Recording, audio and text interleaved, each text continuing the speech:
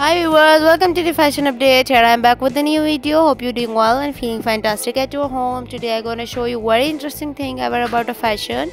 Today I'm gonna share you one shoulder top. This is very nice and beautiful summer tops. You can see on your screen uh, different color and different designs are available in this video. I hope you love this collection and don't be getting bored. If you're new to my YouTube channel, so welcome to the video and welcome to channel so today topic about a one shoulder top this is very nice and you hope you love this haul collection. So enjoying your uh, days with me and enjoying your summer with us. So hope you're doing uh, fantastic at your home.